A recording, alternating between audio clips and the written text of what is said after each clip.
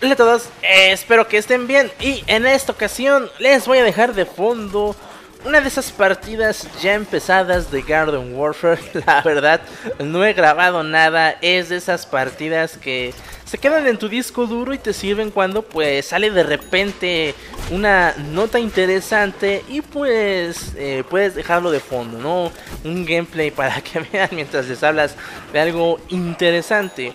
Y ese fue el caso porque Ubisoft sacó una noticia, ah, bueno, que tiene que ver con Assassin's Creed Syndicate, la próxima versión de esta saga sobreexplotada.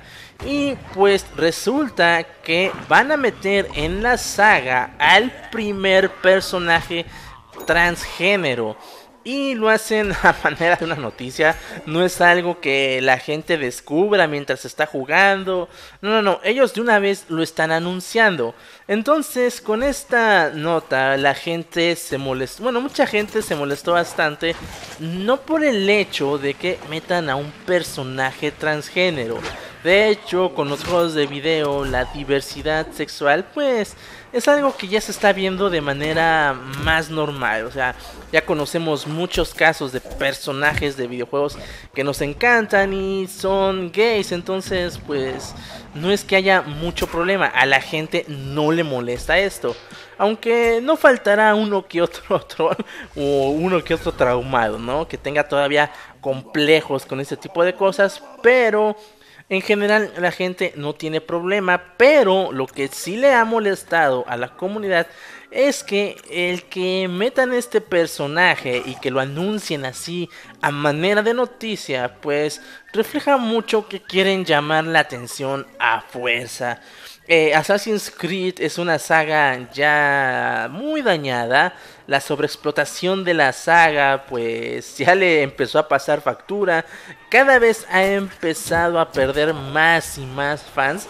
Y eso que Assassin's Creed eh, sigue haciendo las cosas bien. Es un juego bastante bueno. De hecho, yo lo he comentado en algunas otras ocasiones.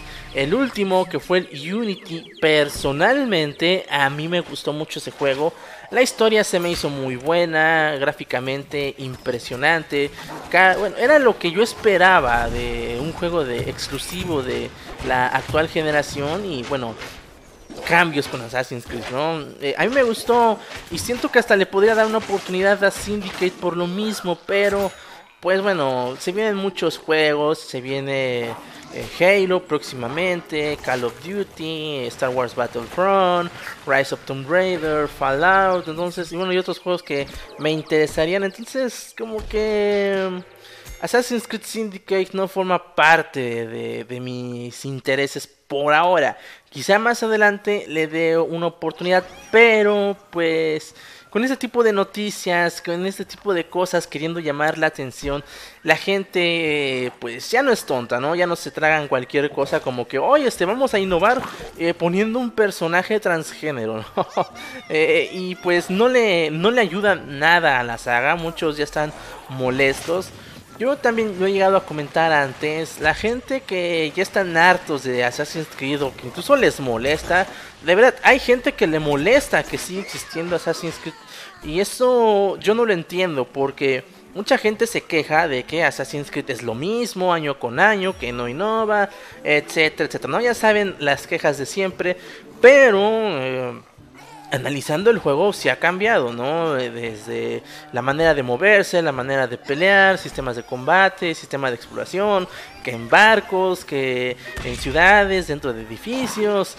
Ahora incluso investiga, bueno, que hagas investigaciones, o sea, hay, hay muchas cosas nuevas que llegan con la saga, pero mucha gente pues si dicen que quieren algo diferente y no ven algo diferente en todos estos Assassin's Creed, incluso en Syndicate, pues bueno, yo soy de la idea que esa gente no quiere Assassin's Creed, quieren un juego totalmente diferente, pero bueno, Assassin's Creed ahorita tiene esa fama, ¿no? De ser una saga eh, mm, sobreexplotada, una saga mala que eh, pues está abusando de los usuarios año con año y pues esto le ha ido pasando factura. Entonces, quererse colgar de los temas, como se les dice, lo que es políticamente correcto, incorrecto, mm, lo veo mal, ¿no?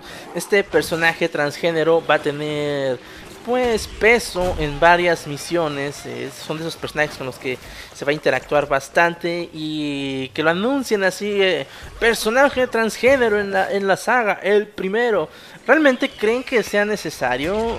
Yo no lo veo así. Si el personaje de verdad es transgénero, eh, eh, gay o lo que sea, creo que valdría la pena enterarse uno mismo mientras está jugando el título, ¿no? No creen, no que no lo estén anunciando desde ahorita para generar morbo, llamar la atención y pues como la gente pues muchos ya están hartos de la saga o no, no están contentos con la saga. Creo que esto le hace más daño. Estaba viendo comentarios y mucha gente está recibiendo esto de manera negativa.